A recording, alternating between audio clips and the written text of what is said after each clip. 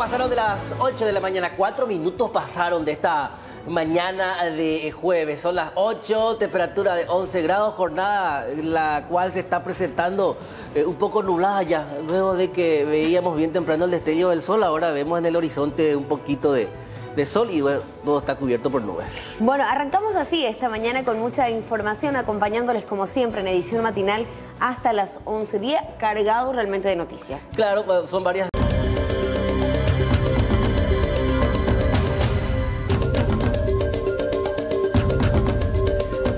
Ahora rápidamente hacemos este recorrido a lo largo y ancho del país para ir localizando, sectorizando los casos por departamentos, por localidades, por ciudades, por distritos. Alto Paraná 711 sigue eh, concentrando este departamento la mayor cantidad de casos positivos de COVID-19 y activos, por cierto. 93 en el departamento central y en instantes vamos a ir desglosando por ciudad. En Caguazú 30 casos confirmados. Llegamos a la ciudad de Concepción, al departamento de Concepción con 28, Asunción con 26, Amambay con 11 casos, Paraguarí 10 casos, Zona de Misiones con 9, Ñembucú con 7 casos, Presidente Ayes 2, Canindeyú 2, Cordillera un caso, Itapúa y San Pedro también con un caso un rápido recorrido por las zonas más afectadas para ir localizando los focos principalmente. En rojo siempre es y eh, señaliza el sector en donde evidentemente la alerta, la alarma es eh, mayor. Alto Paraná, Ciudad del Este. Podemos volver a, Ciudad del Este. 662 casos. Ciudad del Este, la ciudad que ustedes ven. Y evidentemente es eh, el penal el lugar en donde se concentra la mayor cantidad. Bajamos un poco y llegamos rápidamente hasta Presidente Franco casos activos en la comunidad 14, siempre eh, Alto Paraná, eh, Mingaguazú con 10 casos, eh, efectivamente, va un poco, nos vamos un poco más arriba, Alto Paraná, Hernandarias con 22 casos,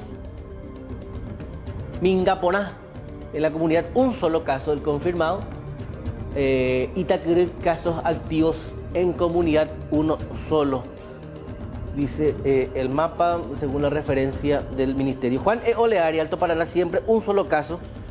Eh, hasta ahora no se ha modificado mucho el número, afortunadamente, para esa localidad.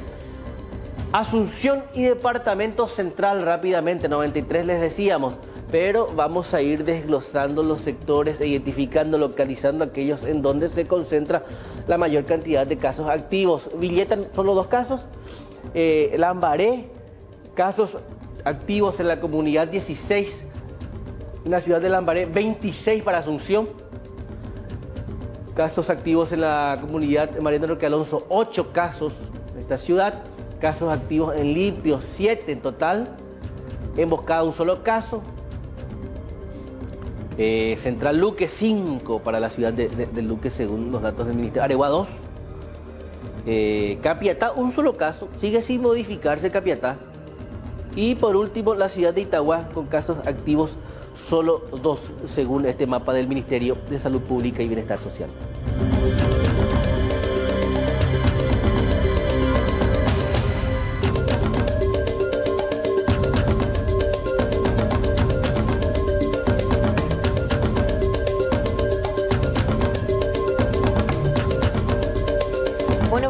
Fueron los controles que se desplegaron en la ciudad de Luque. El resultado, seis personas detenidas, entre ellas un menor de 17 años. Seis personas fueron detenidas, entre ellas un menor de edad, quien fue descubierto en flagrancia dentro de un vehículo hurtando pertenencias entre dinero en efectivo y también documentaciones.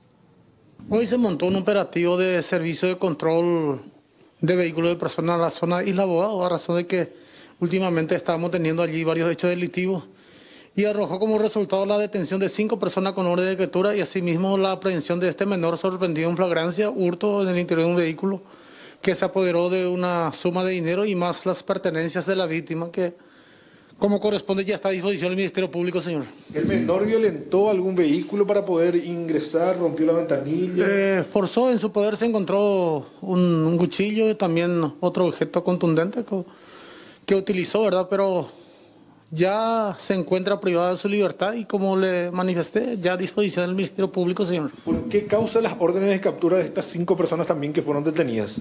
Diferentes, diferentes situaciones, eh, lesión grave, hay por eh, hurto, hurto agravado, eh, diferentes causas. Hay personas que violaron su medida alternativa a la prisión, prisión domiciliaria, que fueron sorprendidos en la calle pues, y como corresponde nuevamente privados de su libertad y a disposición del juzgado de la causa, señor. Estas personas fueron detenidas por agentes de la Comisaría Tercera de Luque y quedaron a disposición del Ministerio Público. Seis personas fueron detenidas, entre ellas un menor de edad, quien fue descubierto en flagrancia dentro de un vehículo hurtando pertenencias entre dinero. Seguimos hablando de temas policiales y este tema no se traslada hasta la zona de Barsequillo, en donde tras un operativo la policía logró recuperar un vehículo que fue abandonado este fue hurtado en zona de la comisaría tercera de Asunción. El dueño del rodado evidentemente se mostró muy contento al poder recuperar su vehículo, evidentemente con algunas eh, alteraciones. El vehículo fue hurtado en la zona de la comisaría tercera de Asunción y posteriormente recuperado en la jurisdicción de la comisaría 15 de Barsequillo San Lorenzo. Eh, recuperamos un vehículo presumiblemente que se había hurtado en la en la ciudad de Asunción el día de ayer, eh, realizando una patrulla preventiva en el cuadrante eh, respectivo de nuestra, nuestra patrullera. Eh, procedimos a la verificación de la chapa del vehículo, constatando de que se trataba de un vehículo presuntamente hurtado. Entonces corroboramos con los de la comisaría jurisdiccional y efectivamente ellos habían recibido una denuncia el día de ayer sobre el mismo vehículo. En este caso, estas personas lo hacen a modo después de levantar el vehículo, lo dejan en un lugar, si no lo buscan, lo llevan. Y eso ya, el modo operandi es difícil de, de, saber. Para eso se le, se le convoca gente especializada, ya sea criminalística, para levantar la evidencia o indicios que dejan estos malvivientes, y también al Departamento de Automotores, que es la encargada de de también relevar los datos y ver un poco el modo operandi de esta gente. El dueño del vehículo pasó muy malos momentos tras el hurto de su vehículo, pero finalmente le volvió la alegría tras el hallazgo de este automóvil.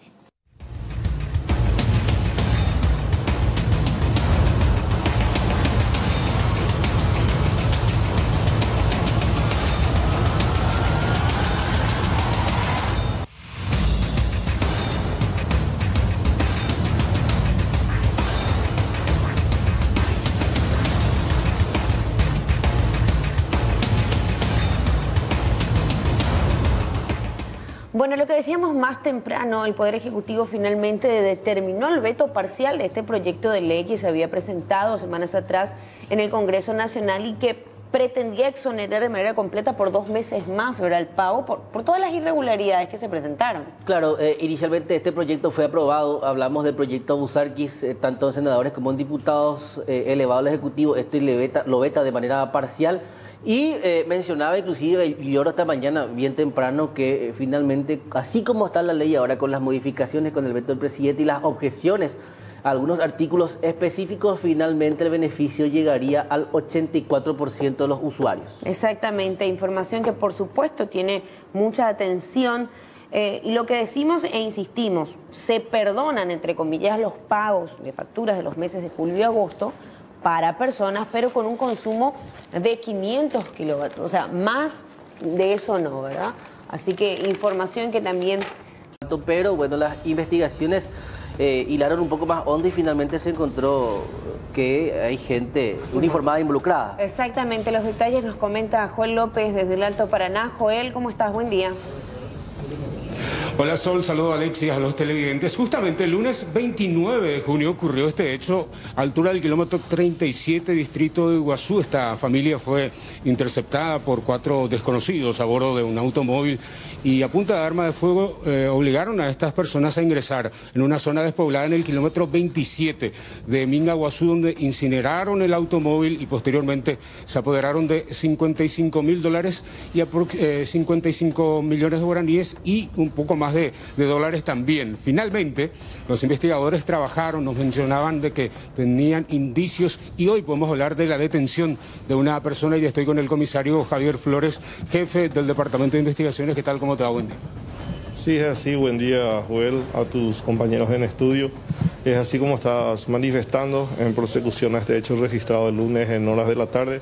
Personal de este departamento el día de ayer se trasladó hasta la ciudad de San Estanislao, en donde presumíamos podíamos encontrar a una persona que tendría vinculación con este hecho. Se procedió a la aprehensión del mismo y la inmediata comunicación al Ministerio Público del procedimiento que estábamos realizando. Estas personas eh, de una u otra forma incineraron el vehículo, eh, aparte de eso también habría más implicados, los presuntos cómplices quienes acompañaron en este atraco, comisario. Así es, el lunes ya en horas de la tarde-noche también recibimos la noticia de que el vehículo utilizado fue incinerado. Eh, convocamos al personal de criminalística a los efectos de levantar algunas evidencias y vestigios que podrían ayudar a la investigación. Todos estos elementos fueron utilizados, analizados y producto de este trabajo es la aprehensión de esta persona el día de ayer. También tenemos ya plenamente identificados a los demás integrantes de este grupo. Estamos realizando algunas otras diligencias para proceder a la aprehensión de los mismos. Bueno, hay dos personas ya individualizadas, eh, comisario, ya manejan ustedes la identidad del mismo, también la fiscalía. Bueno, tenemos una persona ya privada de su libertad y el resto de los integrantes también ya tenemos prácticamente todos identificados. Como te dije, estamos trabajando a los efectos de proceder a la aprehensión de los mismos y poder ponerlo a disposición de la justicia. ¿Qué se pudo incautar del poder del detenido? Se procedió a la incautación de cierto monto de dinero un arma que presumimos él utilizó y un teléfono en el cual él se comunicaba con los demás integrantes del grupo. Muchas gracias por estos detalles también.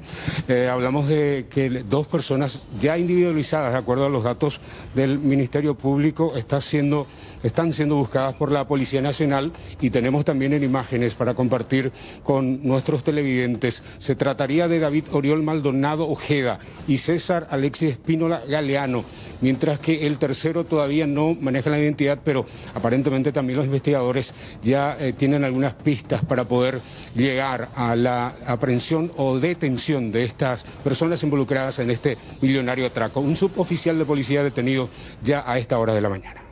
Eh, hasta ahora eh, decíamos, y, todo apunta a que es la, la primera persona detenida o ya también otros integrantes de esta gavilla fueron detenidos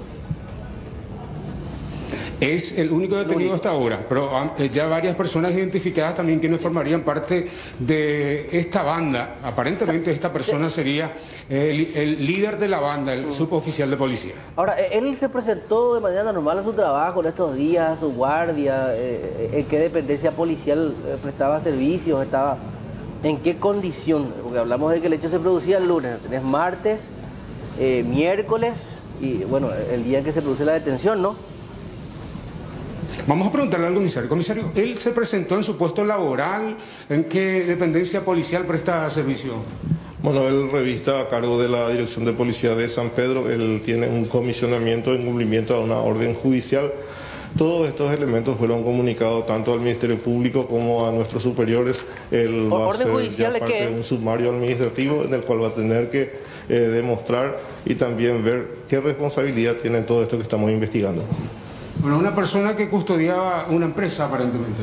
Así es, él tenía un comisionamiento, como te dije, a través de un oficio judicial por el cual era designado para la cobertura de seguridad en un centro comercial de la ciudad de San Estanislao. Ahí fue detenido justamente entonces, eh, compañeros. Perfecto. Bueno, reiteramos, hasta el momento el único detenido, un suboficial de la Policía Nacional, 150 millones de guaraníes es el monto del cual estamos hablando desde el día lunes y siguen las averiguaciones. Joel, como siempre, pendientes a tu señal y novedades de este y otros casos. Muchas gracias, hasta luego. Cambiamos de tema y hablamos ahora de este, guarda relación con la intervención que se llevaba a cabo ayer, poco después de las 17 aproximadamente, al interior del penal de Tacumbú, cuando llegaba una comitiva encabezada por los fiscales Federico Delfino y eh, la fiscala Alicia Saprisa. Esto ya era en prosecución a la investigación por un hecho de ingreso de arma de fuego al penal de Tacumbú. La información preliminar hablaba de que supuestamente en su defensa el director había dicho que esa arma era un regalo que le hicieron llegar a través de una encomienda hasta el penal. Sin embargo, eh, los datos refieren otra cosa. que tenía como destino el pasillo de eh, reclusos, o el área de reclusos, mejor dicho, en donde se encuentran eh, peligrosos integrantes de facciones criminales que aparentemente estaban craneando un atentado contra las más altas autoridades penitenciarias. Se habla inclusive de que el objetivo de este atentado sería la propia ministra Cecilia Pérez, y es que son estas las organizaciones que cuentan con la estructura y el poder logístico para intentar inclusive ingresar un arma de fuego al penal. Ahora, la pregunta que nos hacemos es por qué el director intentó encubrir el ingreso del arma de fuego al interior del penal. En tal sentido, no solo fue destituido, sino se ordenó la detención del mismo y se encuentra en una dependencia de crimen organizado de la policía Nacional también fue detenido su jefe de seguridad y la Fiscalía está analizando todas las cámaras de seguridad.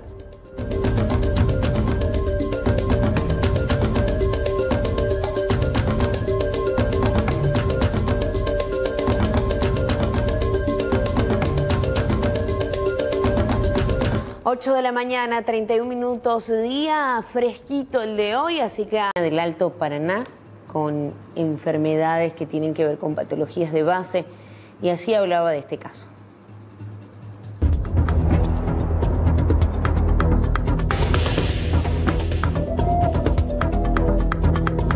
El fallecimiento de la joven de 18 años en el INERAM se produjo debido a una falla multiorgánica que presentaba la paciente. Con un organismo debilitado, el COVID atacó principalmente a los pulmones y su deceso se confirmó la noche de este martes. La patología de base fue diabetes. Considero de que ella llegó tarde, atendiendo a la comorbilidad que presentaba ya concurre tardíamente al centro hospitalario donde eh, directamente la, someten a, una situación de asistencia respiratoria mecánica y eh, atendiendo las comorbilidades que tenían es que piden apoyo a un nivel a un nivel superior, al cuarto nivel, entonces es trasladada a Asunción. Y cuando tiene eso, es decir, como que tiene una falla multiorgánica, por eso finalmente fallece. Fue evolucionando de una manera en donde varios órganos fueron fallando en forma consecutiva. El primero en claudicar, lógicamente, es el pulmón. Antes de ser trasladada a la capital, la paciente estuvo internada en el Hospital Regional de Ciudad del Este. Responsables de esa región explicaron de qué manera hizo efecto este virus en la joven.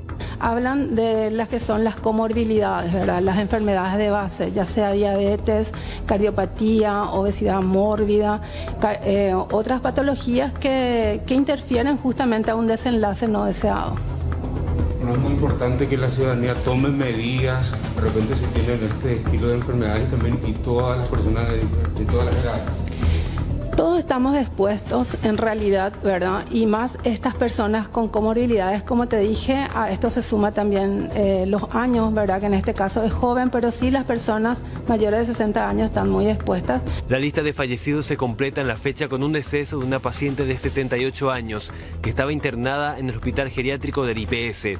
La cifra de muertos en Paraguay llega a 18, un aumento de casi un caso por día en menos de una semana.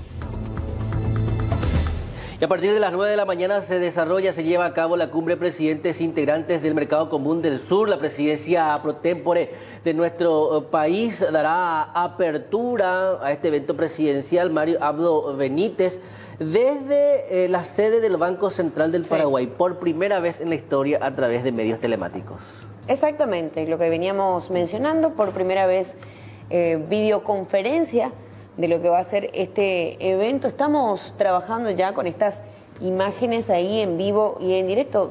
11 minutos más, 10 minutos más y ya inicia este, este evento.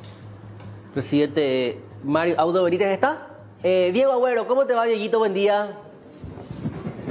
Buen día, buen día. Hola, hola, sí, hola, sí. Diego, el audio? ¿Estamos bien, Alexis? Sí, señor, te escuchamos fuerte y claro con fuerza, como siempre. El saludo para Sol, para la gran teleaudiencia, también es así, eh, prácticamente 100% modo COVID esta cumbre de presidentes del Mercosur que va a iniciar en minutos más.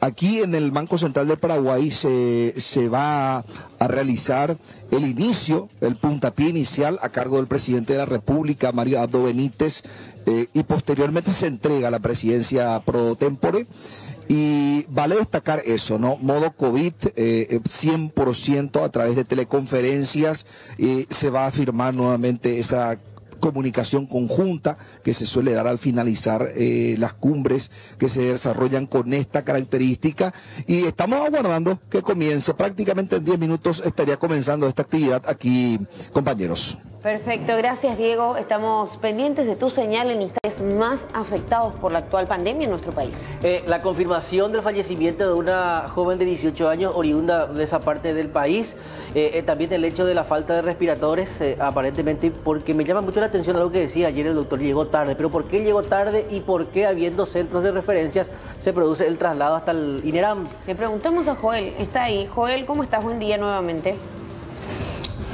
¿Qué tal compañeros? Un abrazo desde la décima región sanitaria, justamente con el encargado, el director, el doctor Hugo Kunzele. Vamos a hablar con él y entender. La joven eh, fue diagnosticada COVID positivo, doctor. Ayer salía una familiar a comentar, a decir que no fue así, que todo fue un engaño. ¿Qué es lo que tienen desde la décima para decir al respecto? Sí, muy buenos días. La verdad que desde un principio se trabajó muy bien con los familiares. La madre, el hermano, eh, facilitaron mucho el trabajo. Eh, lamentamos realmente la muerte de esta eh, paciente, ella era alguien conocida aquí del servicio de Ciudad del Este, ella retiraba todos sus medicamentos, se le facilitaba a través de una unidad de salud familiar, a través de una enfermera en su domicilio estos últimos días de la pandemia. Nos pone muy triste realmente el deceso de ella y lamentamos, lamentamos mucho. Y bueno, en este momento seguimos con el trabajo de contingencia ya con los familiares. A ellos ya se les ha tomado la muestra correspondiente para el COVID, los contactos estrechos, los familiares más cercanos. Eh, también a aquellas personas que estuvieron en contacto con ella en su trabajo, que fue una lavandería en el kilómetro 8, acá a, a Y bueno, estamos, estamos pendientes de, los, de esos resultados y por otro lado, aquellos resultados que ya nos están llegando, tenemos que informar que uno de los familiares, una prima de ella también en este momento ya dio positivo al coronavirus. Está aislada ya también está. Aislada dentro de su dentro de su residencia con cuadros con síntomas leves, solo tos y un poquito de fiebre ha realizado. Bueno, ellos colaboraron, no como dijeron ayer o uno de los familiares de que no van a colaborar, que ella no murió a causa, a consecuencia de COVID. Tenemos la colaboración de los familiares más cercanos, sus contactos más estrechos y agradecemos mucho realmente que dentro de este momento de tristeza, eh, ellos también se abrieron con todo el personal aquí de la décima región sanitaria. Doctor, en cuanto a la llegada tardía, la gente de Inerán mencionaba de que llegó tarde, eh, que aquí de repente no había los equipos necesarios. ¿Qué fue lo que pasó? Eh, entonces, porque hablamos nosotros que tenemos un hospital de, de, contingencia, que podríamos haber hecho algo más por ella aquí, ¿por qué ella fue trasladada hasta la capital del país?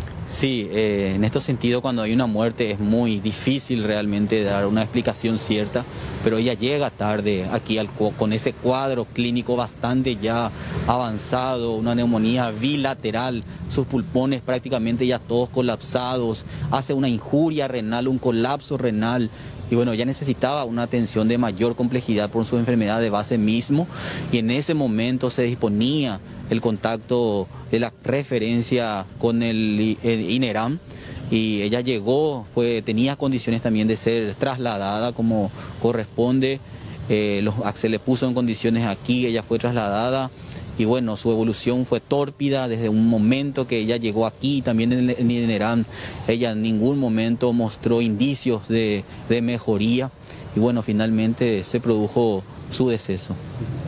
Se hizo todo lo que se podía aquí en Alto Paraná, de repente ya, eh, ya porque se necesitaba de mayor complejidad, por eso fue trasladada. Así es, así es. Eh, nosotros cuando identificamos que requerimos de un centro de mayor complejidad, bueno, se hace esa comunicación correspondiente con el centro de referencia y una vez que establecida toda la comunicación pertinente, eh, se realiza el traslado como corresponde.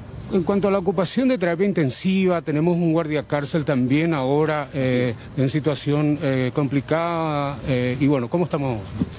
Tenemos desde el día de ayer para hoy, tenemos eh, dos pacientes que han ingresado a la unidad de terapia intensiva, Por un lado, una mujer de 82 años postoperada de una litiasis vesicular que está con una neumonía atípica en este momento y está en un cuadro delicado, principalmente por su edad, por su obesidad. Y por otro lado tenemos un guardia cárcel que él estaba en sala común, y bueno, para mejor monitorización ha sido trasladada a, unidad, a la unidad de terapia intensiva. Estos dos pacientes no están intubados todavía en este momento, estamos tratando de contener eso y bueno, vamos a ir viendo cómo evolucionan principalmente en estas 24 o 48 horas que son cruciales. Bueno, preocupa lo de Foz de Iguazú, lo dicho por el intendente también ayer a las autoridades sanitarias, no solamente eh, locales, sino también a nivel país. Preocupante lo que está pasando en Foz de Iguazú. Eh, para que la población paraguaya sepa más o menos el estado de Paraná, que él está al lado aquí de Alto Paraná, Paraguay, eh, se mantenía con unos números realmente estables dentro de lo que es todo Brasil. Y FOS principalmente mantenía un número relativo de casos y de ocupación de camas muy bajas, pero en los últimos 15 días esto se ha revertido Foz de Iguazú tiene ocupada el 100% de su unidad de terapia intensiva con pacientes de coronavirus y también prácticamente el 85% de sus camas de sala común.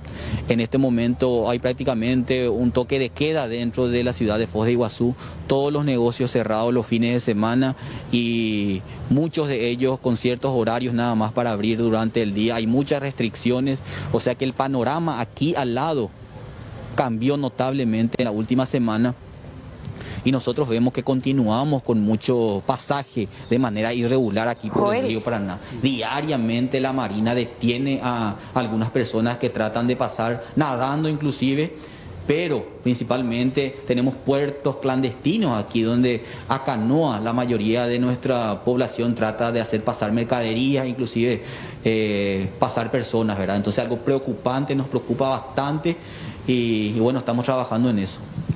lo que dijo el intendente eh, ayer de que ya no cree en el coronavirus tuvo mucha repercusión. Justamente, eh, ¿cuál sería el mensaje para la población con respecto a eso? Bueno, es una eh, opinión no muy acertada, la verdad. En este momento todas las autoridades paraguayas, la verdad que tenemos que tener, tienen que tener un mismo discurso.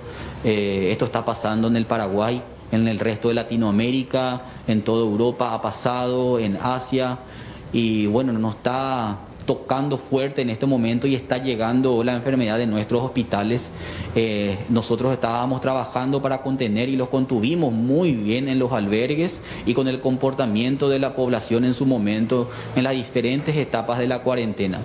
entonces, en ese sentido, queremos una vez más solicitar el apoyo con mucha responsabilidad de la población para que se para que se cumpla el protocolo correspondiente para esta cuarentena. Si debemos ir a trabajar, vamos a irnos de manera ordenada, con mucha responsabilidad, cumpliendo las medidas sanitarias. De esa manera me cuido yo y le cuido a las otras personas con quien me encuentro, con mis familiares, con los compañeros de trabajo. Es de esa manera la forma que se le gana a este coronavirus. Porque como ustedes ven, lamentablemente no solamente llevan vidas de personas de edad, sino que también lleva muchos casos a personas de, corta edad y es muy penoso. Esta joven de 18 años, doctor. Así mismo, es muy penoso realmente, algo muy triste, eh, más porque se le conocía a ella en la, aquí en el hospital y familiar de una compañera nuestra de enfermería. Entonces, le estamos a la población que siga colaborando, a las autoridades también que sigan colaborando si tenemos que trabajar, debemos ir a trabajar, pero con todas las medidas correspondientes. Si vamos a la casa de un familiar, vamos a tratar de disminuir un poquito más, principalmente aquí en el Alto Paraná en este momento. Pero si ya es muy necesaria esa visita para hacer, vamos a irnos con el uso de la tapaboca, vamos a irnos con el lavado de mano y con la separación un poquito entre, entre personas, ¿verdad? Más de un metro principalmente, cuando vamos a acercarnos más de 15 minutos, que es lo que corresponde. Bueno, Sol, eh, perdí el, retorno, pero sí escuchaba que tendrías una consulta al doctor eh, Hugo Kunzle. Eh, por ahí sí vuelven a repetir y también volvemos la comunicación con los compañeros para poder evacuar esa consulta que tenías para el doctor. Bueno, en instantes, no sé si ya estamos con retornos, si Joel estamos arreglando unas cuestiones técnicas, porque centrándonos en este último caso, hablando de esta menor de 18 años, y lo decía justamente el doctor, eh, hay casos y casos, lastimosamente hablamos de una joven con varias patologías de base, pero ¿cuál es la situación de los respiradores en el Alto Paraná? es la cantidad, cuántos están destinados para casos de pacientes de COVID-19, porque tenemos entendido que cuando ella es derivada hasta este centro asistencial ahí en el Alto Paraná, no se contaba con un respirador para ella. Entonces la consulta es, Joel, ¿cuántos respiradores eh, cuenta actualmente, cuentan actualmente en el Alto Paraná y cuántos de ellos están destinados a pacientes de COVID? Porque cuando ella llega, ¿había o no respiradores ¿Cuántos están usando? Bueno, vamos a consultar. Doctor, ¿cuántos respiradores tenemos en Alto Paraná ahora mismo y cuántas, cuántos respiradores ocupados? Nosotros aquí en el, eh, juntando lo que es IPS con el Hospital Regional de Ciudad del Este, tenemos en este momento 24 respiradores. 24 respiradores para pacientes eh, polivalentes y respiratorios en su momento fueron eh, reservados para todos cuadros respiratorios cuando veíamos que el panorama era realmente devastador en los países cercanos. Posteriormente se hizo una planificación, fuimos eh, metiendo, ingresando eh, a otros pacientes de otras patologías, infartos, cuadros de accidente cerebrovascular. y bueno, en este momento estamos dividiendo nuevamente Estamos con una sala exclusiva para cuadros respiratorios y otra sala para cuadros eh, polivalentes. Por otro lado, también las salas normales en nuestro hospital respiratorio van en aumento. Empezamos con 12, fuimos a 24, ahora estamos llegando a 60 camas que están esperando pacientes para cuadro respiratorio en este invierno, que es donde realmente vamos a ver un número más elevado de pacientes que van llegando aquí a nuestro hospital integrado de, estos respiratorio. de estos 24 aparatos, sí, ¿cuántos son destinados finalmente para casos de COVID-19? O sea, ¿están apartados de alguna manera o no? Porque son, es un número bastante bajo. ¿Cuántos son destinados estos 24 solamente para COVID, doctor?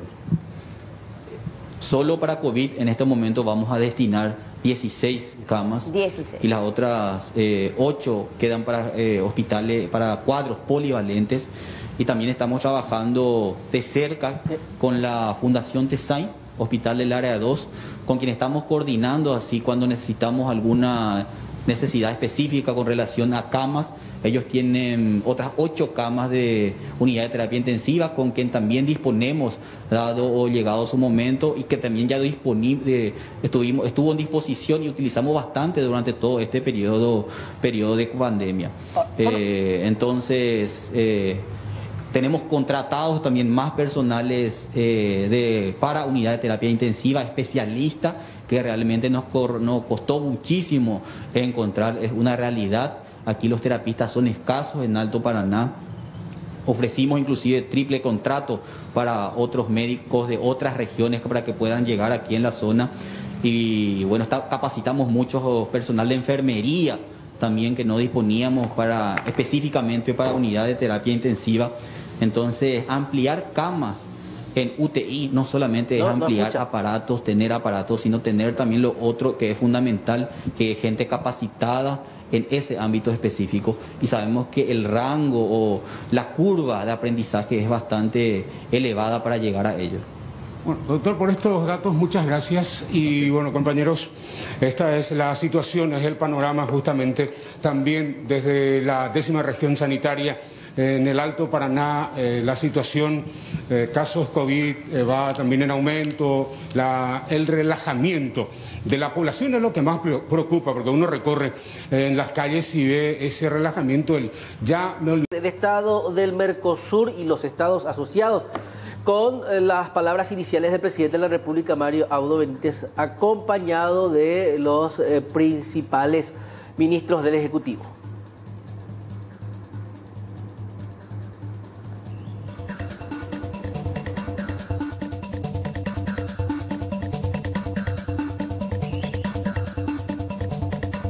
reiterar que esto, por supuesto, es la primera vez que se hace en estas condiciones, en modo COVID, todo de manera virtual. Ahora sí, escuchamos. Gracias, presidente. El, honor, es nuestro.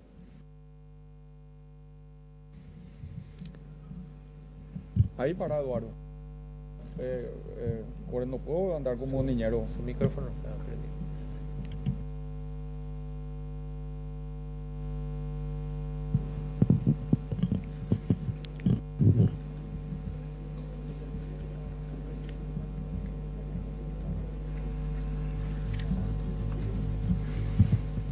Ya está, lo podemos iniciar.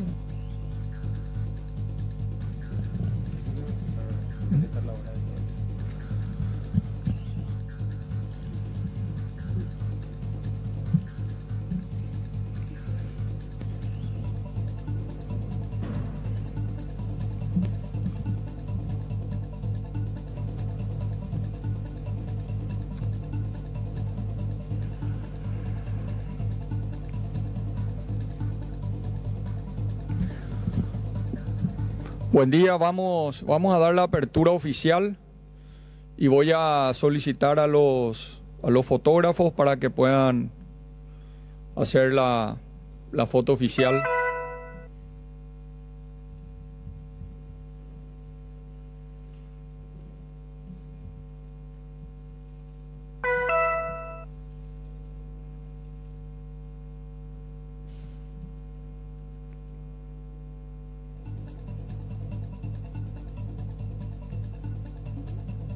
Buen día, Presidenta Yanina Añez. Un gusto saludarla.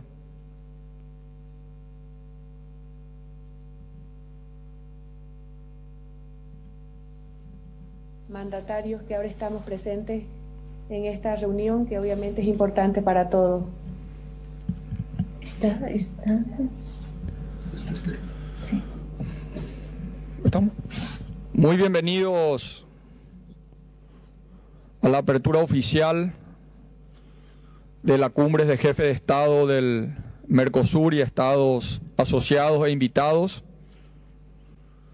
Presidente Alberto Fernández, presidente Jair Bolsonaro, presidente Luis Lacalle Pou, presidente Yanín Añez, mi saludo al canciller de Chile, presidente Iván Duque, señores cancilleres, ministros, coordinadores nacionales, presidente de la Conmebol, Alejandro Domínguez, presidente del Banco Interamericano de Desarrollo.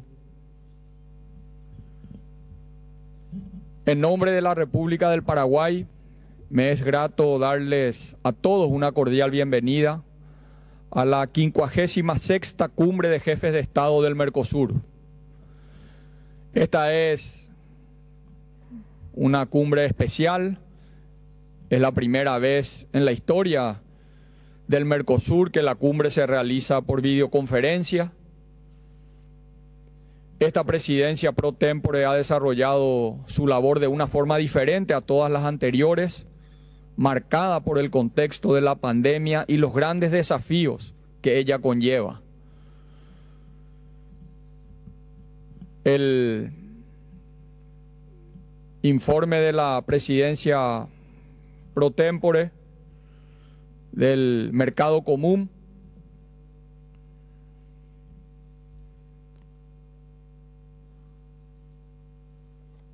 Y como primer punto de esta reunión, quisiera anunciar al, anunciar al señor ministro de Relaciones Exteriores, don Antonio Rivas Palacios, quien en su calidad de coordinador nacional del Consejo del Mercado Común nos brindará informe de las actividades realizadas durante el presente semestre. Y también quiero eh, aprovechar para informar que me acompañan aquí el ministro de Hacienda, el señor Benigno López, la ministra de Industria, la señora Liz Kramer, el presidente del Banco Central del Paraguay, el señor José Cantero, y los ministros del Interior, don Euclides Acevedo, el ministro de Salud Pública, el doctor Julio Mazzoleni. Concedo el uso de la palabra al canciller nacional del Paraguay para que presente su informe. Adelante, canciller. Muchísimas gracias, señor presidente. Señores presidentes, señora presidenta, señores ministros y ministras, autoridades nacionales, invitados especiales, señoras y señores, en el marco de este encuentro semestral del más alto nivel de nuestro proceso de integración, me permito brindar un informe de las gestiones realizadas por el Gobierno de la República del Paraguay en el ejercicio de la presidencia pro tempore del Mercosur durante el primer semestre del año 2020. A la vez de proseguir el desarrollo de la agenda común en curso, la presidencia pro tempore paraguaya estableció como prioridad de su gestión al frente del Mercosur dar un nuevo enfoque a la integración atendiendo las realidades del mundo de hoy e impulsando acciones tendientes a mejorar la calidad de vida de los ciudadanos del Mercosur, con iniciativas orientadas a alcanzar resultados tangibles en áreas de incidencia directa en el día a día de la gente.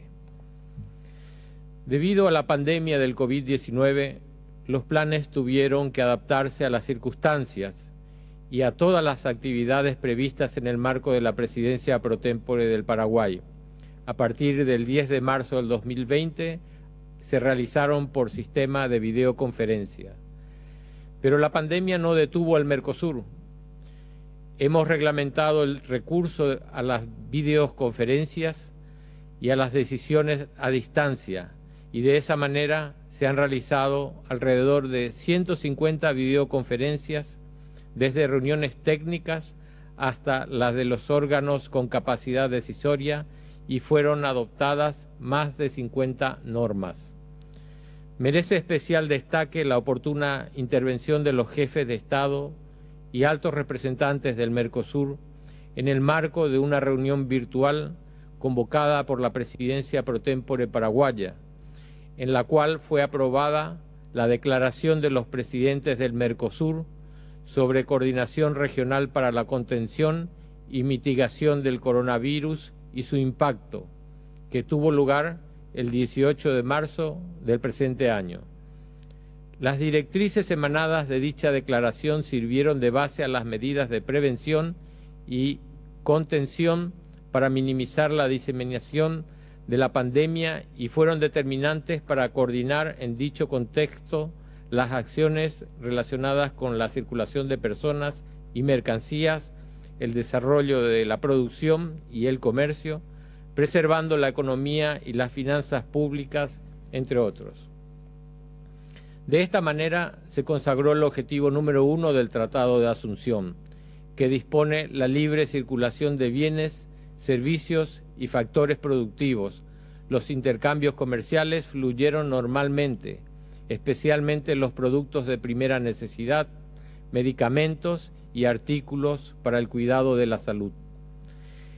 El entendimiento y la comprensión entre los estados partes fueron elementos básicos para superar las adversidades con ingenio e inteligencia. Eso ha permitido que en un escenario de restricciones de movilidad que nos impuso el COVID-19, el Mercosur se haya valido de la tecnología y el conocimiento para llevar adelante sus actividades y cumplir con sus objetivos. Por ello, este semestre será histórico para demostrar que las herramientas tecnológicas y la creatividad humana pueden vencer distancias, sortear barreras y posibilitar la concreción de logros hacia el objetivo superior de la integración.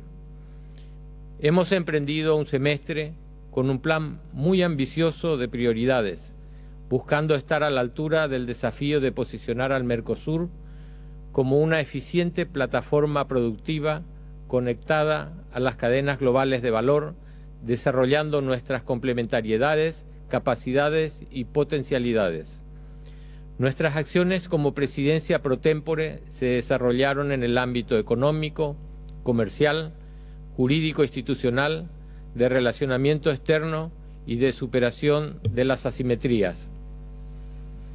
En materia económica y comercial, nuestra agenda incluyó la prosecución de los trabajos de revisión del arancel externo común, la actualización del régimen de origen, el régimen automotor común del Mercosur, una reunión técnica de intercambio de informaciones del sector azucarero con fines de cooperación para mejorar la competitividad así como la adopción de normas en materias de comercio electrónico, temas en los que obtuvimos importantes avances y las discusiones proseguirán durante la siguiente presidencia pro tempore uruguaya.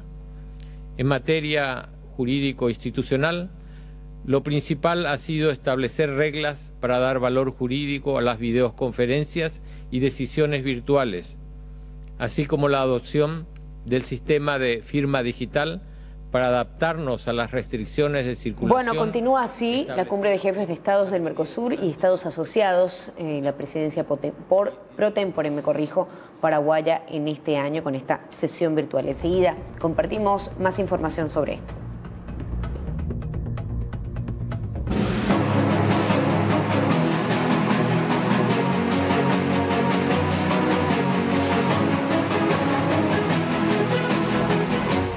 Mañana con 23 minutos, temperatura de 12 grados. Preocupó y mucho ayer la confirmación de un caso positivo de COVID en comisaría. De eso hablamos ahora, Sol. Angie, las novedades contigo adelante. Preocupación por parte de todos los efectivos policiales de esta comisaría. Bueno, ante esto que, surge ahora mismo, eh, teniendo en cuenta que ellos están muy expuestos y este efectivo estaba realizando también eh, muchas tareas.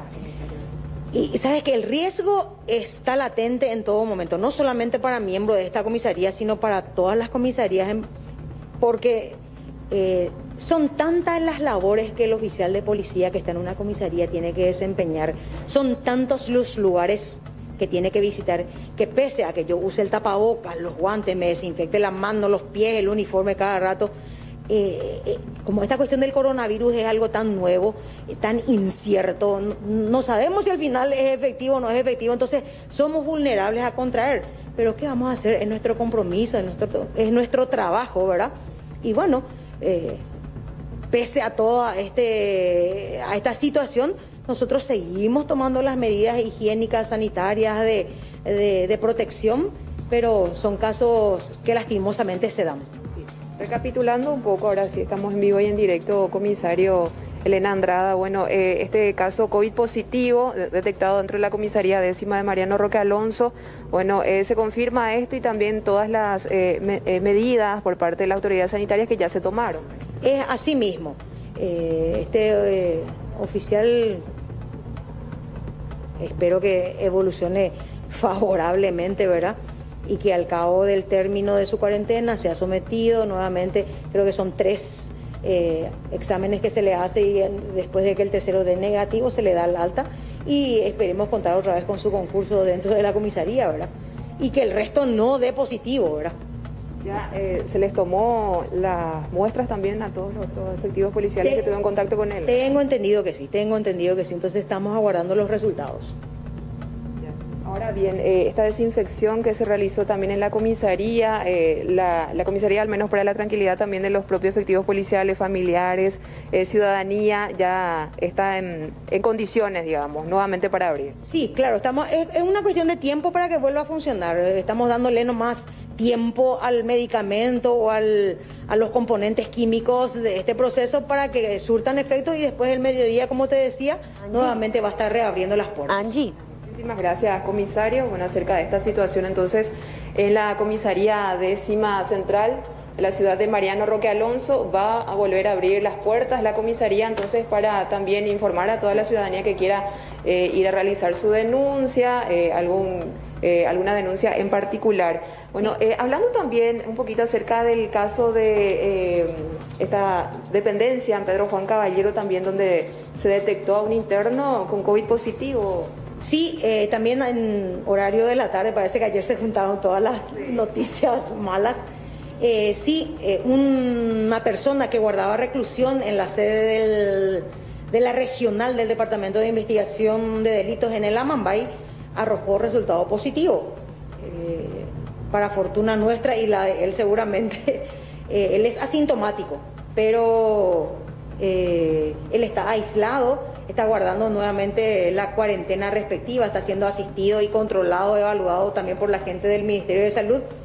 Los integrantes de esa dependencia, desde el jefe para abajo, fueron también todos eh, sometidos a la prueba del COVID y ellos dieron negativo, vale decir que ellos no van a cuarentena por el momento, salvo que Dios no quiera empiecen a presentar posteriormente algún cuadro medio o algunos síntomas medio sospechosos, ¿verdad? Pero por el momento ellos dieron totalmente negativo y la dependencia sigue funcionando normalmente. Muchísimas gracias, comisario, por estas informaciones. Entonces, bueno, ustedes me indican, compañeros, creo que me quedé sin retorno. Estas son las informaciones entonces que se dan con respecto, primeramente, a la comisaría décima de Mariano Roque Alonso y también eh, con respecto a este interno eh, que dio también eh, como resultado positivo a la prueba del COVID-19 en la zona de Pedro Juan Caballero. Bueno, gracias Angie Prieto. Enseguida vamos a hacer unas cuantas consultas más con respecto a este tema, porque bueno, hay un procedimiento diferente. ¿Qué pasa con los oficiales? Ya están sometidos también a la prueba de COVID. Necesitan un refuerzo policial en ese tipo de dependencias. Volvemos a estudios, chicos. Y por otra parte, también, ¿verdad? Entonces, miren, ahí les aparece un código QR al costado de la pantalla. Van a abrir su cámara.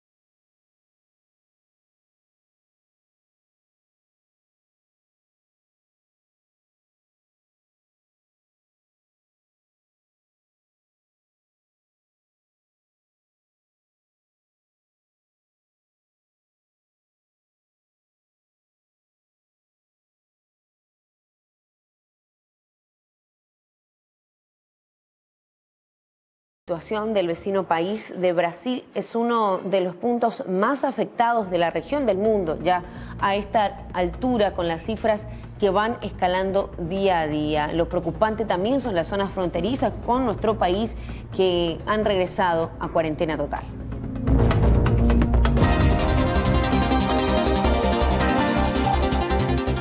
Brasil reportó este martes 1.271 nuevas muertes por coronavirus y 37.997 casos infectados en las últimas 24 horas, según los datos recabados por el Consorcio de Medios de Comunicación en base a datos de los departamentos de salud estatales. De esta manera, el balance total llegó a 59.656 fallecidos por COVID-19 y 1.408.485 contagios. Sao Paulo se mantiene como el estado con mayor número de casos. La Secretaría de Estado de Salud señaló que se llegó a los 281.380 infecciones de la enfermedad, 6.235 de ellas registradas en las últimas 24 horas. El estado tiene 14.763 muertes por COVID-19, tras sumar 365 víctimas este martes. Río de Janeiro completó 105 días después de la primera muerte por COVID-19 el 17 de marzo y ahora suma 10.080 muertes por la enfermedad, lo que corresponde a un promedio de 96 por día. En las últimas 24 horas se han registrado 232 muertes y 728 nuevos casos, lo que eleva el número total de casos en el estado a 112.611. Si se tratara de un país, el estado de Río de Janeiro sería el número 19 más infectado del mundo. Se están investigando otras 1.011 muertes bajo la sospecha de haber sido causadas por el COVID-19 y se informó que se han curado 93.423 pacientes. Brasil es uno de los países más afectados del mundo por el coronavirus. Muy buenos días y bueno, estamos ya en lo que significa la segunda fase de la investigación de esta denuncia que se recibe eh, del ingreso de un arma calibre 45 en la penitenciaría de Tacumbú.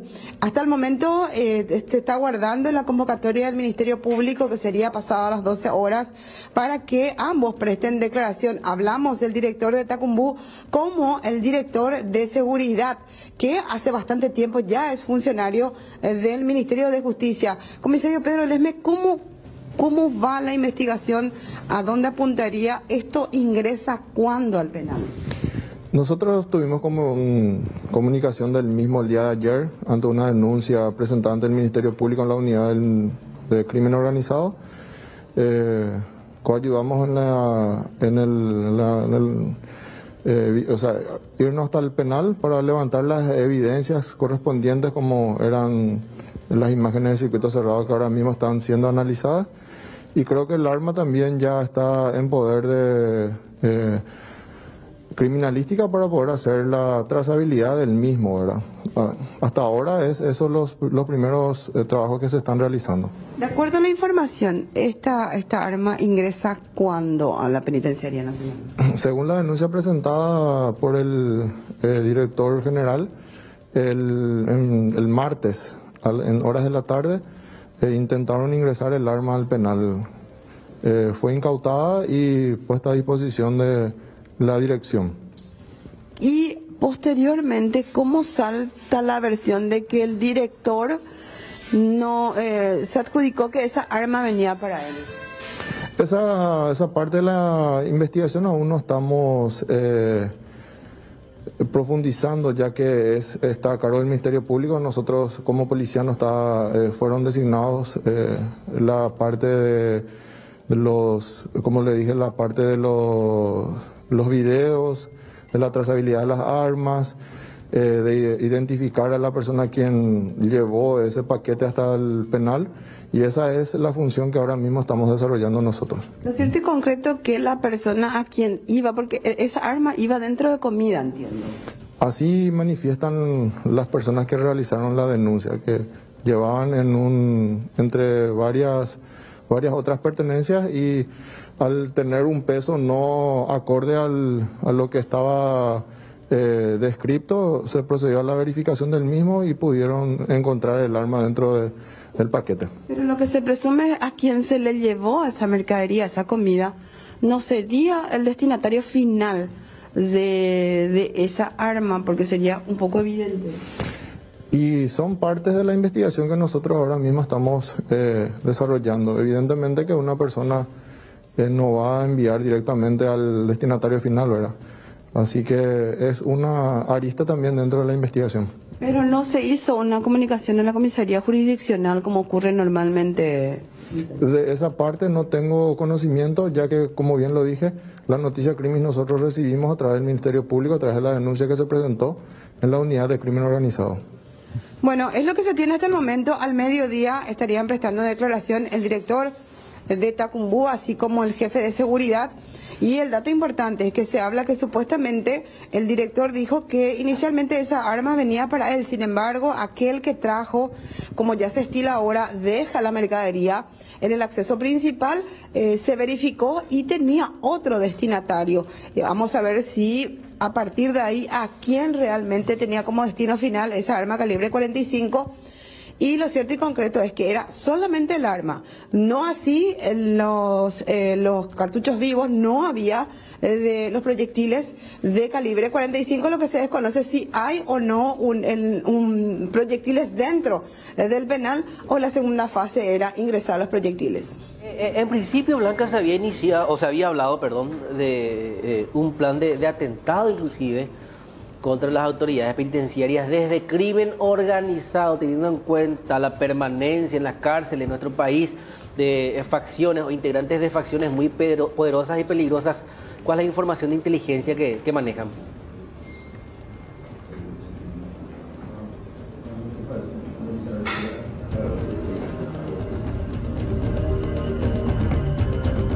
Bueno, en instantes volvemos con Blanca López. No sé si estamos ahí con sistema de retorno, porque sí, la situación es delicada. En medio de una crisis penitenciaria que de hecho ya se está generando desde el año pasado y todas las situaciones que, ya son de público conocimiento, sumado a esto la crisis sanitaria y ahora hablamos de irregularidades por parte de representantes, de directivos de institutos penales. Nos centramos en Tacumbú y este caso. En instantes volvemos hasta ese lugar.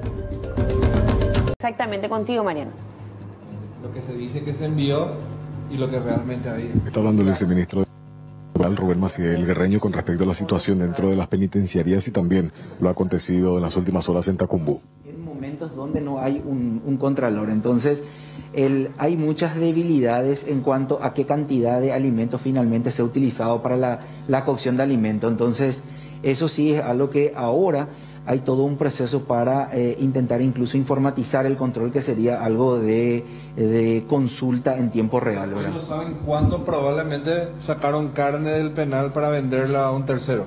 Hoy lo único que sabemos, se recibió tanto y nos informan que X cantidad se X eh, cantidad de internos, ¿verdad? No, no, no podría porque esos números que no manejo, ¿verdad? esos son números que maneja eh, la parte de dirección de administración, que sí efectivamente le podemos pedir para que nos den números concretos. ¿Y no es la privada, que supuestamente era explotado por Reinaldo Cabaña, por Cucho en su momento? Bueno, ese dato se mencionó, pero no, no, no tiene relación con el hecho de la intervención del Ministerio ¿No Público. involucra el director, el ex director ya ahora? Es, no, al menos ese de la investigación de ayer, no, ¿verdad? Quería reiterarnos lo que acontecía en Tacumbú, la investigación que está llevando adelante tanto el Ministerio en compañía de la Fiscalía, a partir del hallazgo de un arma. Sí, cuando dieron aviso de que se detectó un arma eh, en una encomienda, se activó todo el sistema de seguridad del Ministerio de Justicia, intervino la Dirección de Asuntos Internos para indagar eh, a los efectos de saber en qué, en qué circunstancia ocurrió ese hecho. En el marco de esa investigación y de las informaciones recolectadas, eh, salta el dato de que el director había manifestado que el arma eh, sería para él y que él lo quería adquirir. Ante ese hecho, bueno, obviamente se le formula una serie de, de- preguntas referentes al origen del arma, quién sería el proveedor, etcétera. Y bueno, esas son algunas preguntas que no tuvieron una- unas respuestas muy concretas, ¿verdad? Eh, también el, jefe de seguridad tenía conocimiento de ese hecho. Y bueno, eh, esas preguntas que quedaron sin respuesta es lo que generaron la sospecha de que se podría configurar algún hecho punible y que fue lo que motivó la formalización de la denuncia ante el Ministerio Público. Llegó el arma, digo, como una encomienda para un interno. Y esa fue la, la primera información recibida. ¿Y ese interno respondería a algún tipo de facción criminal, a alguno de los grupos organizados ahí dentro de la penitenciaría? Eh, Y es el dato que todavía no se tiene concreto. Hay una, una información al respecto, pero que está pendiente de confirmación. Pertenecería supuestamente el interno al grupo de Zamora. Y esos son los datos que van a estar pendientes de confirmación, justamente. El ingreso de un arma de fuego a un penal supondría una especie de atentado que se haya estado organizando. Y las finalidades que se le pueda dar un arma en un contexto como eso pueden ser muy variadas. De hecho, es irregular porque eh, el ingreso de un arma de fuego en una penitenciaría en ese contexto no, no está permitida. Pero el director sí tiene arma, o sea, él tiene arma, él, o sea, con la excusa que él da de que supuestamente el arma era para él. De hecho, el director tiene luego consigo un arma de fuego, o ¿cómo se maneja en ese sentido de protección y seguridad? Es- ahí se rige por las reglas de la ley de armas. Eh, una persona puede estar autorizado para la tenencia y para la aportación. Para la aportación, por lo general, son agentes de la fuerza pública, incluidos también agentes penitenciarios que pueden tener la autorización para aportar arma. Los demás ciudadanos, como yo o cualquiera, puede tener la autorización de tenencia. La tenencia implica la- el permiso legal para poseer un arma en un determinado ámbito. Puede ser en la casa, incluso en el vehículo o en otro lugar. En ese sentido, al menos nosotros no tenemos información de que el, el director tenga el registro de tenencia de algún arma. Que ver a la forma en que se pretendía ingresar el arma, el viceministro decía en una encomienda, ¿cómo podríamos entender un poco mejor eso, lo- los, detalles? de- ¿En un paquete de comida o cómo? Eh, exacto, en un paquete como eh, cuyo contenido sería comida o ropa, ¿verdad? Porque esa fue la información inicial, encomienda. Usualmente la encomienda lo que suele contener es alimento o vestimenta. ¿verdad? Y se, eso se revisa normalmente, ¿verdad? ¿Cómo el Exacto, se revisa, se, se pasa por el escáner, etcétera. Como la misma detección que hubo en la penitenciaría de Pedro Juan, donde detectaron un, estopín y una mecha dentro de un embutido, bueno, ese mismo procedimiento se realizó, eso al menos esa es la información inicial. Ahora, sí genera obviamente sospecha la modalidad, ¿verdad? No, es una modalidad muy regular para adquirir un arma. Tiene consulta de estudio, viceministro. Te escucha Alexia, el viceministro Rubén Maciel Guerrero. ¿Cómo- ¿Cómo le va, viceministro? Gracias, Mariano. Eh, con, con respecto también a una de las versiones que, que giraba en torno a este caso, que el destino del arma sería un sitio en donde eh, se encontrasen eh, integrantes de facciones criminales. Se habla de, de- de un plan de, de atentado inclusive contra autoridades penitenciarias. ¿Qué hay de cierto sobre esa versión? ¿Hay inteligencia con respecto a- al resurgimiento de acciones por parte de facciones, viceministro? Hay una serie de versiones y todos están ahora sujetos de verificación y confirmación tanto del Ministerio Público como por la Unidad de Inteligencia Penitenciaria. ¿Qué, qué tipo específicamente? ¿Atentado contra ustedes, contra la ministra, contra el director, cual fuera el eventual? Es, no tenemos todavía, como no tenemos confirmado, no nos queremos aventurar a, a sencillamente generar espe- especulaciones. Pero esa es una hipótesis también. Todas las hipótesis son tomadas en cuenta porque la situación siempre es preocupante, ¿verdad? Entonces se lo toma con, con seriedad y eh, buscando verificar el, el- el origen de eso y qué tanto de cierto puede ser. ¿Plan de fuga masiva también, director? Es, en relación a ese dato, en relación a Tacumbú no tuvimos información. Es como que hay relajamiento en el sentido, no eh, evidentemente del trabajo de ustedes, sino que eh, también eh, de, la cuestión está relacionada al COVID-19. De repente la gente puede estar concentrada en eso y, mientras tanto también las facciones cranear. Porque eh, nos remitimos básicamente a eso que usted mencionaba, al intento de ingreso de partes de, de- de- explosivos, por ejemplo, Pedro Juan Caballero y ciertos antecedentes. O sea, solo ese tipo de situaciones muchas veces nos anima a preguntar la, la reorganización o, cierto plan que puedan tener peligrosas facciones, eh, viceministro. Bueno, en, lo que atañe a seguridad, eso nunca fue descuidado, sino al contrario, justamente con, con las acciones sanitarias que se tomaron en el marco de la pandemia, paralelamente se reforzó todo lo, relacionado a la seguridad y en particular a lo que atañe a la inteligencia penitenciaria. De hecho, eh, hubieron va- varias otras acciones tomadas con previsión por parte del Ministerio de Justicia para evitar eh, incluso fugas. Gracias, viceministro. Gracias, Mariano.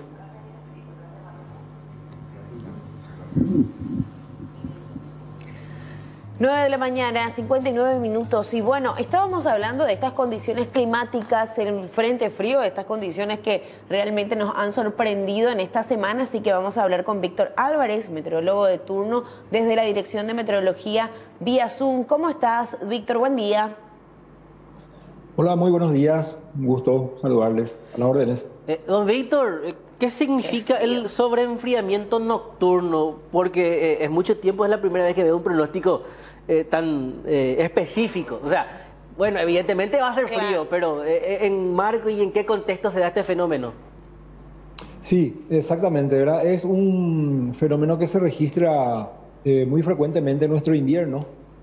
Eh, ocurre cuando en las noches, luego del ingreso de un aire frío, eh, el cielo se despeja totalmente y los vientos también comienzan a calmar. Entonces, este, en muchas situaciones hasta se producen heladas, ¿verdad? Entonces, es un brusco descenso de la temperatura producto de eh, producto del cielo despejado, del poco viento y del aire muy seco que entra, ¿verdad? Eh, normalmente el, el sobreenfriamiento nocturno eh, deriva en, en escarchas o a veces en heladas, ¿verdad? Pero afortunadamente en, este, en, este, en esta situación particular que vamos a tener esta noche y esta madrugada, como pueden ver ustedes, lo- el enfriamiento nocturno no va a ser muy significativo. Por lo tanto, pueden ver ustedes temperaturas de 4 grados, 5 grados, 6 grados. Y bueno, me decías que eh, nunca has visto un, nunca viste un boletín eh, de este tipo. Sí. Y efectivamente es un, un boletín nuevo que estamos sacando desde la Dirección de Meteorología y Hidrología, advirtiendo justamente, eh, o sea, como una manera de advertir sobre la posibilidad de heladas y escarchas. Eh, entonces estamos considerando cualquier temperatura igual o menor a 6 grados centígrados, una temperatura mínima prevista igual o menor a 6 grados centígrados, ya entonces estaríamos emitiendo un boletín por sobreenfriamiento nocturno, ¿verdad? Y seguramente ya van a ver ustedes que a medida que nos adentremos más en el invierno, allá por julio, agosto, probablemente este boletín por sobreenfriamiento nocturno ya también va a traer incluido la posibilidad de heladas y escarchas también. Pero en este caso, como te decía, el sobreenfriamiento nocturno que vamos a tener esta noche y esta madrugada no es muy significativo y como pueden ver las temperaturas son de 4 grados, 6 grados. Con respecto a eso, Víctor, bueno, hablamos de 4 y 5 grados, los números más bajos, principalmente en las zonas que generalmente vemos estos números, eh, Encarnación, Ciudad del Este, Cazapá. En el caso de que esto vaya avanzando, nos decía más adelante, ¿cuál sería una temperatura mínima que podríamos presentar ya más adelante? Para ir preparándonos nomás, digo. No, totalmente. Nuestro, nuestro invierno recién ha comenzado. Por lo tanto, no sería nada sorprendente que dentro del mes de julio ya, ya comencemos a tener temperaturas muy cercanas a 0 grados centígrados, inclusive ya formaciones de escarchas mucho más significativas. Eh, y ya comencemos también con los primeros daños en, en los cultivos. ¿verdad? Eso es lo típico entre julio y agosto, ¿verdad? Eh, julio y agosto eh, históricamente son los meses en donde se registra la mayor frecuencia de heladas y este invierno no va a escapar a esa situación, ¿verdad? Así que ya tranquilamente podemos estar ir preparándonos para cualquier evento de, de heladas en, en lo que en lo que resta de este mes de, de julio. Víctor, ahora hay como un aumento en la nubosidad, algunos nubarrones adornan la casa Jonia, ahí cerca, acá cerca están eh, ustedes. Eh, Sí. ¿Es significativo esto? ¿Podría derivar en lluvias? Y de registrarse una lluvia, por ejemplo, ahora, ¿esto afectaría el sobreenfriamiento? ¿Podría modificarse? No, no, no, no va a modificar nada porque estas nubes se estarían disipando ya en el transcurso de esta tarde.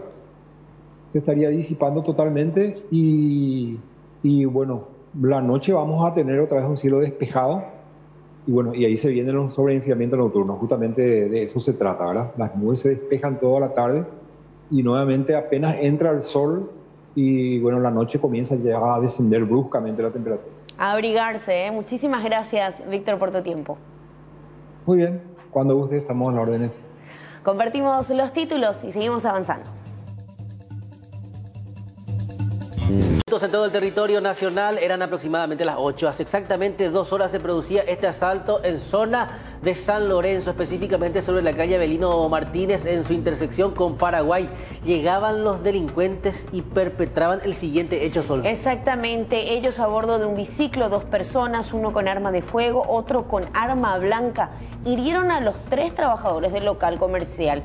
En uno de los casos dispararon con el arma de fuego, una herida a la altura del brazo, otro una herida de arma blanca en eh, la pierna.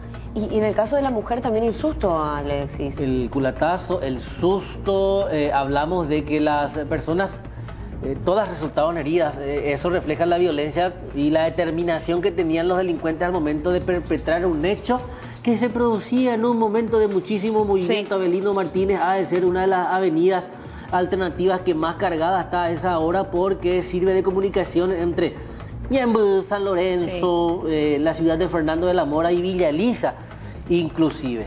Eh, un, un dato importante, en el momento que hacíamos justamente esta entrevista, todavía no se estaba, eh, no se tenía precisión del monto con el que se alzaron y otros detalles. Ahí vemos a la mujer herida y en shock. Eh, Judith Colexa logró una entrevista con el oficial interviniente. Abierto, vamos a decirle, y ahí ingresaron los dos, los dos sujetos y son muy violentos porque a la cajera le, le propinó un golpe en la cabeza y al otro una herida ahí en el esparto con el cuchillo y otro fue herido con eh, arma de fuego. Ahora, comisario, ante toda esta gravedad, ¿pudieron llevarse dinero o no estos delincuentes? Y hasta el momento no sabemos todavía, porque la cajera se sintió choqueada y ahora se fue también en la ambulancia. Y vamos, a- vamos Funcionario, ¿qué pasó, comisario? Y no- como le dije, no tenemos todavía la certeza de cómo ocurrió, porque el circuito cerrado todavía no podemos tener también lo que no, se quedó bloqueado. Y, ¿La comisión está grabando? sí, estaba grabando, sí, tiene condiciones para que no provea. A tener las imágenes entonces. Sí, vamos a tener la imagen, pero no, eh, tiene que venir un técnico para desbloquear.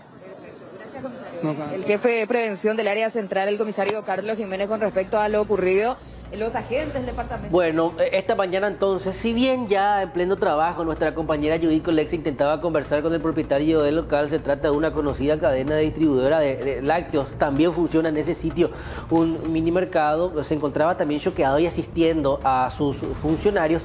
Posteriormente pudimos conversar con él y él mencionaba cuánto sigue.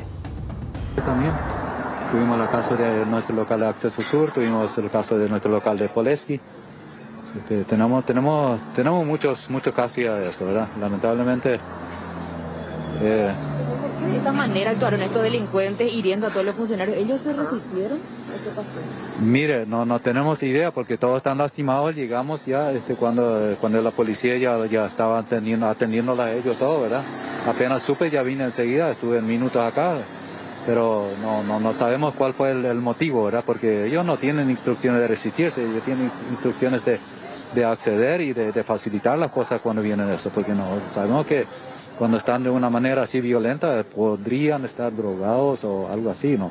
no. ¿Se, se llevaron algo, dinero? Sí, sí, se llevan toda la recaudación que todavía no tenemos el arqueo. ¿Cuentan con guardia de seguridad? No, no, no disponemos con guardia de seguridad. Protega y no sé si tiene... Tenemos, tenemos la, la alarma, tenemos el, el, el- como el circuito cerrado, tenemos todo esto, ahora sí. ¿Adentro también tiene circuito? Sí, sí, tenemos todo. apenas eh, se hizo la apertura. Y mire, estamos, ahora son las este, 9, las 8.54, a las 7 abrimos, así que a las 7, 7 y algo, sí, 7 y algo habrá sido. O sea, ¿Había recaudación de días anteriores? ¿Perdón? ¿Había recaudación de días anteriores? Había, no, días no, pero, pero había, había, había recaudación, exactamente todo el detalle no tengo todavía porque estoy, estoy en eso. Pero el dinero que estaba solamente en el sector aquí, la caja que se llevaron. La caja y la caja fuerte también. También caja fuerte. Sí. Violentaron todo. Eh, en cuanto a las víctimas, solamente tres personas estaban dentro del... Tres personas empleados nuestros, sí. Los tres fueron lastimados. Uno, uno vi- baleado, otro acuchillado y la otra golpeado con, con, con algo contundente. Ya le llevaron también para su, su atención. Los tres, los tres están asegurados en IPS, los tres fueron llevados a, eso. Yo soy Rudy propietario del local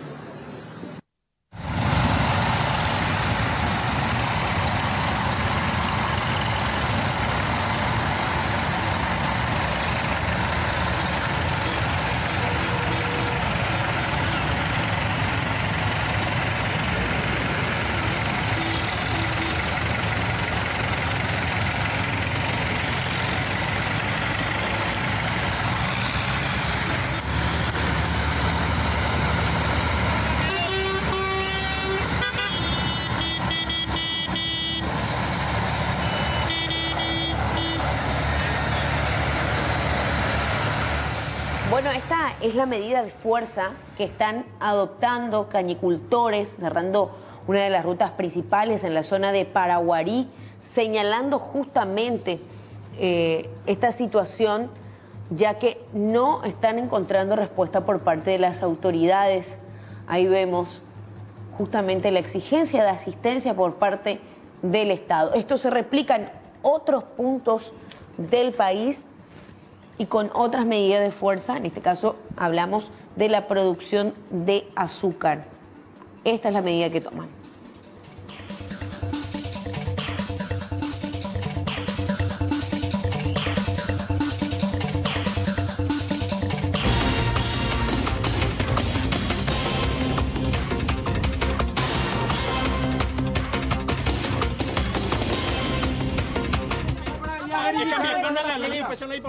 Otra cosa. Anina tiene la Mire, la ley no cumplí. Hamba es buena de Yui, apeyu. Señora, ese tapey era hoy fea, puña caraibe. Ese tapey prohibido. así no. Está establecido en la ley que tienen que comunicar, tienen es- que hacer No me conforme a la ley. interesa mi Ustedes piden respeto y ustedes mismos no dan respeto a su gente. A quien nosotros votamos por ustedes para que ustedes hagan un buen trabajo. Amba es penemonda. Pique algo viñen de 10 mil guaraníes. ¿Para qué? Bueno, una situación que se produce en zona de Cabañas, el tramo Cabañas-Cacupé específicamente. ¿Quiénes son estas personas que están cerrando eh, la ruta? Eh, son viveristas, o sea, las personas que eh, trabajan en la producción de plantas, de plantines, de todo tipo de, de- estos productos de, viveros específicamente. Aparentemente todavía no está habilitada la actividad comercial de estas personas, por ende, de esta manera y con una movilización y con el cierre de la ruta, eh, pretenden hacer elevar su voz de reclamo, exigiendo a las autoridades volver a trabajar en sus viveros. Tapey prohibido. así no. Está establecido en la ley que tienen que comunicar, Hamba tienen que hacer No me conforme a la ley. interesa mi Ustedes piden respeto y ustedes mismos no dan respeto a su gente. A quien nosotros votamos por ustedes para que ustedes hagan un buen trabajo. Amba Comunicación telefónica eh, vía... eh, Skype o Zoom. ¿Skype? ¿Skype Zoom? Sí.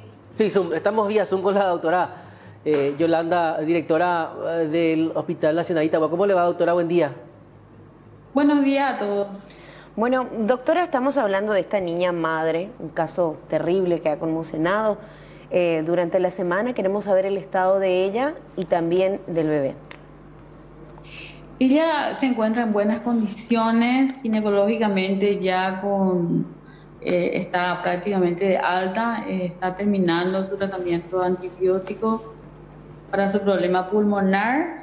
Eh, aparentemente está estable psicológicamente, se va a ver a, su niña, quiere darle de, de amamantar y estamos en ese proceso.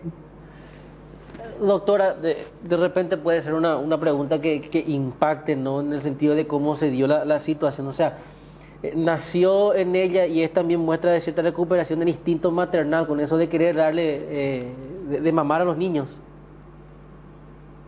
Tiene un instinto maternal que yo creo que todas tenemos probablemente uh -huh. y notoriamente en ella sí.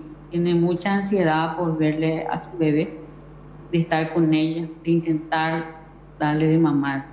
Directora, ¿ella está acompañada de familiares? ¿Está sola? ¿Cuál es la situación de ella?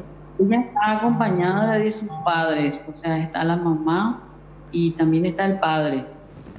Eh, estamos siguiendo todo el caso por asistencia social, por asesoría jurídica, hicimos las denuncias por más que ya haya...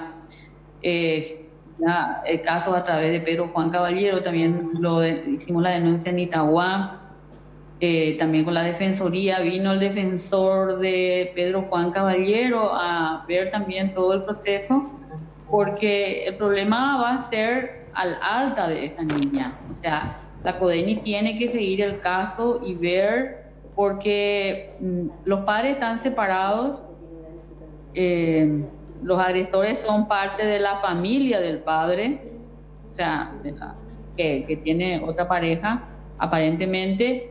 Y bueno, y la mamá es muy pobre, creo que recolecta plata. Y hay que ver cómo protegerla de todo esto. Doctora, eh, inicialmente algún tipo de consecuencias al no estar eh, su organismo preparado para una situación así? Porque estamos hablando de una nena, de una niña. Estamos hablando de una niña, pero el organismo en sí, el momento que una mujer menstrua, obviamente llega a un embarazo a término. Eso significa que estaba preparada. A los Acá 11 años, doctora. La parte mental, ¿verdad? Sí, porque decir que una niña de 11 años está preparada para dar a luz no, no, no, sé, o sea, no. su cuerpito, estamos hablando de que no importa que ella haya iniciado a menstruar a los 10, a los 11 años, su cuerpo no está preparado, doctora. El cuerpito de ella, chiquitita, estamos Llega a un embarazo a término, obviamente, si no estaba preparado, yo creo que no hubiese llegado, ¿verdad? Claro, a lo que a lo que vamos nomás es que eh, orgánica, ¿verdad? Claro, no podemos hablar de un embarazo normal como de cualquier otra mujer que ya obviamente eh, eh, físicamente esté en condiciones. Ahora hay un proceso, lo decía usted, psicológico que sin dudas va a llevar un seguimiento intenso. Yo espero que en este caso la CODENI y todo el entorno en sí porque no solamente hablamos de la parte mental, también hablamos de el lugar donde ella va a ir de vuelta, ¿verdad? Ver las condiciones económicas, soportar y llevar, o sea, la mamá de ella, la abuela en este caso tiene 32 años. La preocupación es de, de, que, eh, de cómo protegerla de esto, ¿verdad? Porque son gente muy humilde. Doctora, ¿hay algún tipo de recomendación? Porque siguiendo muy de cerca a usted la parte médica, pero una recomendación de, de, del equipo que la asiste psiquiátrica o psicológicamente en cuanto a lo que va a ser el proceso con los, con los niños. El, los, los, el psiquiatra eh, especialista en niños ya la está viendo acá, pero ella es de Pedro Juan claro. Caballero y yo espero que ellos ya hayan iniciado, porque este proceso inició en octubre del año pasado y el seguimiento tiene que ser constante. Obviamente, por lo que se ve, es que hicieron prácticamente un buen trabajo porque ella está asumiendo una maternidad que muchas veces ninguna mujer adulta lo hace. Eh, y justamente ese contacto con eh, especialistas de, de la zona de Pedro Juan, de donde ella es, ¿ya, ya están teniendo ese, ese contacto con ellos, directora, o, o cómo se va a hacer? La defensoría ya vino al hospital para interiorizarse.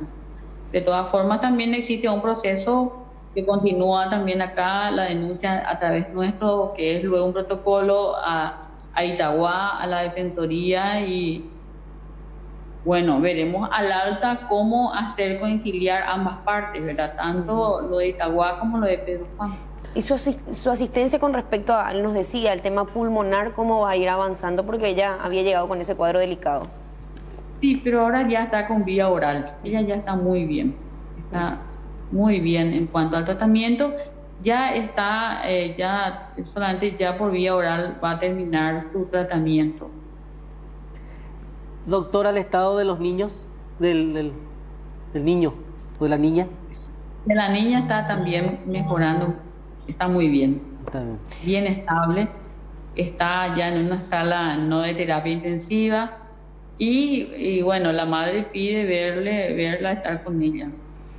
Directora, le agradecemos por su tiempo y, y estamos siempre pendientes de las novedades, un trabajo intenso que están haciendo, obviamente en el marco de toda esta emergencia sanitaria, también en el hospital de Itagua. Así que, como siempre, estaremos en contacto con usted. Gracias a ustedes, a sus órdenes. La doctora Yolanda González, directora del Hospital de Itagua, esperemos que haya un seguimiento correspondiente a este caso terrible que sigue en realidad ya en instancias también judiciales. 10 de la mañana, 28 minutos. Vamos a seguir avanzando. Les pedimos a la gente que nos siga en las redes sociales, que nos escriba al WhatsApp también, Alexis. Y claro, y también le queremos dar recomendaciones a nuestros televidentes porque este domingo dos cartones eh, salen al precio de uno. Todo salen, sale, todo sale o sale en dólares. Este domingo el 2x1 con 43.500 millones de guaraníes en premios que salen sí o sí. 2x1 multiplicando las chances de ganar. 2x1, dos números de cartón, cuatro chances para el pozo. 2x1 de CNT, porque todo 43.500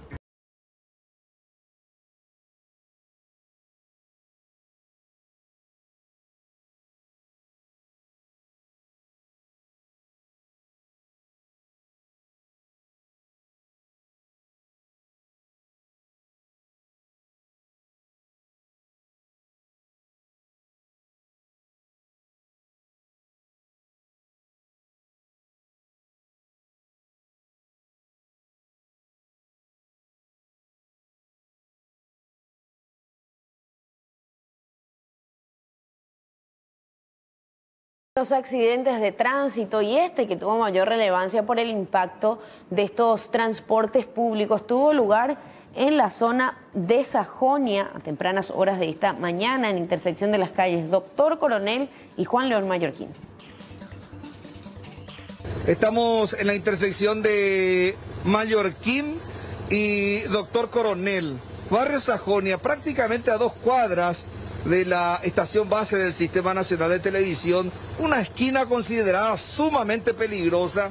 Estamos aquí dentro de la unidad del transporte y al mirar, Turio nos puede mostrar cómo quedó el frente de este colectivo.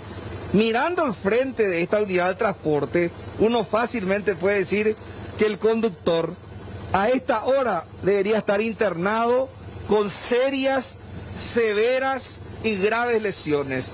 Sin embargo, para él es un milagro, porque eh, acá está con nosotros y vamos a preguntarle cómo fue este accidente. Eh, buen día. Buen día. ¿Su nombre? Carlos. Carlos, ¿qué pasó, Carlos? Contanos. Y así como ya te dije, me quedé ahí para esperar y sacando un poquitito como siempre para mirar y claro. en ese momento fue el, el impacto que me agarró. El colectivo de la línea...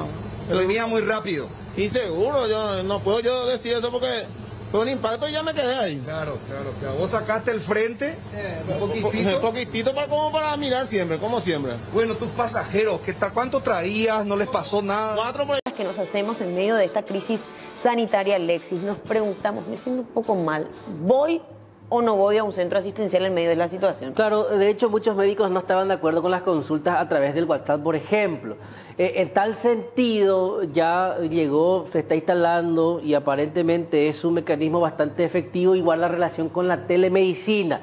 Y estamos en comunicación con la doctora Elizabeth Balinotti, especialista, evidentemente también eh, en endocrinología, y vamos a hablar, vamos a ahondar en detalles desde el punto de vista médico eh, con relación a todo esto. De hecho, la entrevista ahora prácticamente se da a través de un medio telemático. Claro. Sí. Doctora, ¿cómo está? Buen día. Buen día, ¿cómo están Alexis Solange? Qué gusto estar con ustedes. Con respecto a esta pregunta que nos hacíamos con Alexis, ¿cómo hacemos en esta situación? ¿Cuáles son las recomendaciones eh, que se da por parte de un personal médico, de un doctor, justamente en medio de toda esta crisis? Bueno, no podemos dejar de atender a los pacientes, es decir, las urgencias y las enfermedades no, no se curan automáticamente con la pandemia, por lo tanto, la teleconsulta ha sido y es una herramienta que funciona muchísimo para hacer el seguimiento de los, pacientes actualmente, ¿verdad? Incluso en el Instituto de Previsión Social, nosotros en el Servicio de Endocrinología estamos haciendo teleconsultas, ¿verdad? Por lo menos más del 50% de los casos lo hacemos por, llamadas, ¿verdad? Y también en la práctica privada se, se utiliza muchísimo. A, través de, este mecanismo lo que se pretende muchas veces evitar es la exposición, doctora, pero resulta ser que es efectivo y podría facilitar mucho también el, trabajo, no solo de ustedes, sino también la movilidad del paciente por sobre todo. Claro, tiene muchas ventajas en el sentido de que el paciente no se mueve, no se expone al virus en que estamos este, inmersos actualmente, no estamos... Eh, provocando una, una aglomeración innecesaria y podemos tener un contacto real con el paciente a tiempo real, ver sus estudios, verle, eh, indicarle, porque nosotros tenemos también el aval del Ministerio de Salud para hacer telemedicina en todo este proceso y entonces podemos hacer las indicaciones, eh, las recetas, incluso las órdenes de estudio a través de la telemedicina utilizando la tecnología. Esto nos ha ayudado a mantener en buen control sobre todo los pacientes con diabetes, que vos sabés aumenta muchísimo el riesgo de mortalidad el hecho de tener diabetes si uno tuviera COVID. Pero no solamente con COVID, sino con cualquier otra enfermedad infecciosa e incluso las cardiovasculares. Doctor, importante mencionar, ¿verdad?, que esto es recomendable en una primera instancia. Si la cosa se va complicando, obviamente tomar otra medida, pero simplemente para decir, bueno, opción A, si ahí tengo síntomas leves y nada es muy preocupante, optar por una alternativa como esta. Asimismo, se puede optar para a, una teleconsulta y el médico claramente va a decirles, mira, necesito verte, tenés que venir, es una urgencia, eh, existe ¿verdad? Criterios los cuales va a utilizar el profesional para decir tenés que acercarte o te tengo que ver o te tengo que palpar o te tengo que pedir un estudio presencial, por ejemplo una ecografía, un ecocardio, un análisis que sea de urgencia. Entonces es realmente una herramienta para rápido socorro en muchos, en muchos casos y en otros casos es para el seguimiento de los pacientes con enfermedades crónicas. Doctora, la telemedicina, sector público, eh, asegurados de IPS y sector privado, ¿cómo se va aplicando indistintamente? En el sector público se, se está eh, aplicando en 21 especialidades en el Hospital Central y estamos también llegando a otras especialidades en las periféricas. Se hace a través del 0811 5000 y ah, se piden las consultas, ¿verdad? Y eh, entonces IPS mediante el call center se comunica con el paciente en el momento, digamos, del horario que le toca al paciente y habla con su médico. Y, y, y así se hace la consulta, a ver, se cargan los medicamentos y el paciente debe venir a retirar a la farmacia, pero eso ya es un trámite, digamos, que ya no necesita tanto tiempo de exposición acá en la sala de espera, por ejemplo. Doctor, No, repetir ese número si lo colocamos en, en el software.